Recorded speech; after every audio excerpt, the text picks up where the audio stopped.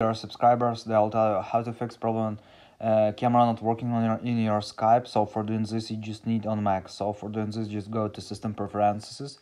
Here you need to open security and privacy. Here you need to find privacy here.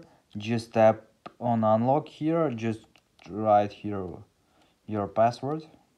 So after you need to tap on camera and here you need to enable it for Skype. So thanks for watching, have a nice day, subscribe to our channel, click like and bye.